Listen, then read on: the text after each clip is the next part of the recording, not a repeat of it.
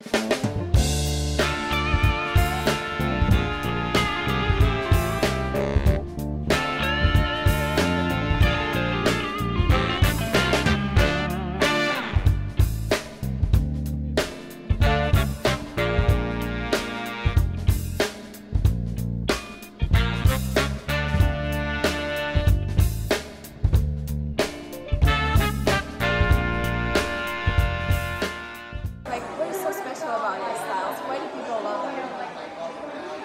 I don't know. That's not a question for me to answer. It's more for people that I work with, or, you know, I love women. I, I love the sense of style. I love what they do with their hair, usually makeup, clothes, the whole ensemble. I find it very inspiring. So it's something, you know, I grew up in the 60s, so I've always had a tendency to like pretty much a lot of, you know, not always a lot of volume, but there's some kind of volume that I think made uh, maybe makes me known a little more for it. I'm not sure, but um, it's a hard question for me to answer. Uh, where do you get the inspiration from, like in creating your styles? Pretty much you answered that, but if you have anything to add. Yeah, well, the thing is, you know, I, I, I find inspiration everywhere. You know, I can walk in the street, you know, like even like when we were walking in the street, I could just bump into someone that I know or not, that might not know, that I find have an interesting style, and sometimes even if I don't like it, I might suddenly get something out of it. And whenever it comes to you and she wants to change something in her look, uh, how do you know what's the best for her? Like, where do you get this information? Like, You know, it's something that happens most of the time in a very spontaneous way. You know, I first of all I need to feel that that person is really ready for that change.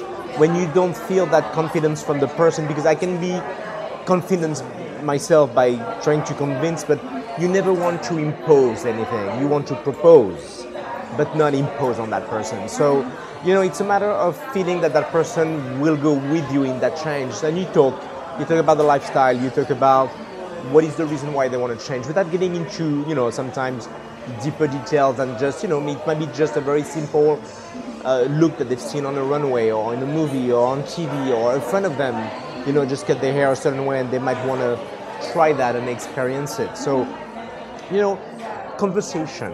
sometimes damage our hair. Uh, what can we do for it to, uh, to look healthy? If it's not really healthy, can it look beautiful if it's not actually healthy?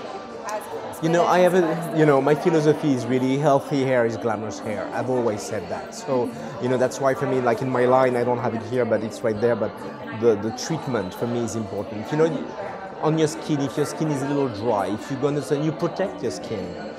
Why don't we do the same thing for the hair? And I think it's really that kind of constant treatment that people have to get used to do. So, yes, the colors that we do today, all the products that we use to change our looks are way more gentle than they were, you know, 20 years ago. But nonetheless, you still need to, you know, help your hair to try to get back that natural state that it might have had once. And I think, you know, a good pro- product, a good treatment that you know will repair your hair And the best cure for split ends with the scissors, right? You know, a, a nice little trim is always helpful for sure. When it's you know, when we talk about split ends that are completely damaged and, and hard to repair, but also you know if you don't want to get rid of your length, the treatment should help to at least minimize it and to try to bring it back. And I asked my viewers what they would like to know from you. Uh, and one of the most popular questions would be, um, if I blow dry my hair in the morning, I go out and it's raining outside, how can I keep my hair straight and not go in straight, uh, curly and all? Well, listen, I think it's a problem for everybody. You know, the humidity. You know, get a good umbrella. Make sure that you know. The thing is, you know, there's always a few little tips. You know, great scarves, headbands.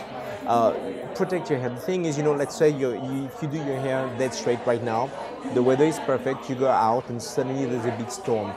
Chances are, even if you have a great umbrella, the wind with the little particles of humidity will get to your hair. So the thing is, if you have, you know, of course, if you can plan it, uh, you could put a scarf on it. You can pull your hair back in a little a soft ponytail, put in the bun. It will give it a little movement, unfortunately, but it's better than having something completely frizzy at the end. Great, okay, thank you so much for your answers. That's pretty much it. Very That good. was really interesting It was, it was a pleasure to meet you. Thank you. Thank you so much. Thank you. And now you're ready for your blow dry. Yeah.